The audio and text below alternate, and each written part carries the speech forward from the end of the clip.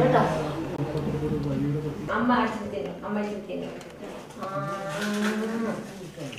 ഉഷാദേവിക്ക് പശുക്കൾ മക്കളെ പോലെയാണ് ഒരു കുറവും വരുത്താതെയാണ് ഇവയെ വളർത്തുന്നത്. കൂട്ടത്തിലെ പ്രായം കുറഞ്ഞതിനെ വീട്ടിനുള്ളിലാണ് പരിപാലിക്കുന്നത്.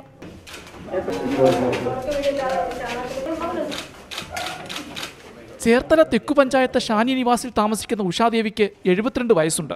ഇപ്പോൾ അഞ്ച് പശുക്കളെയാണ് പരിപാലിക്കുന്നത്. ഉഷാദേവി കഴിക്കുന്ന എന്തിന്റെയും പങ്ക് പശുക്കൾക്ക് നൽകും. ടി വിയിലെ പരിപാടികളും ഗോക്കളെ കാണിക്കും. പാട്ടുപാടിയും ഫാനിട്ട് കൊടുത്തുമൊക്കെയാണ് പശുക്കളെ ഉറക്കുന്നത്. മാധ്യമങ്ങളിൽ വാർത്ത കണ്ടിട്ടാണ് സുരേഷ് ഗോപി ഉഷാദേവിയുടെ വീട്ടിലെത്തിയത്. വീടിന് മുന്നിലെ തട്ടിൽ ഭാഗ്യക്കുറി വിൽപ്പനയും മാസം തോറും ലഭിക്കുന്ന വിധവാ പെൻഷനുമാണ് ഉഷാദേവിയുടെ വരുമാനം. കുറഞ്ഞ വരുമാനത്തിനിടയിലും മക്കളെപ്പോലെ കരുതുന്ന പശുക്കൾക്ക് ഒരു കുറവും വരുത്താൻ ഉഷാദേവി തയ്യാറല്ല.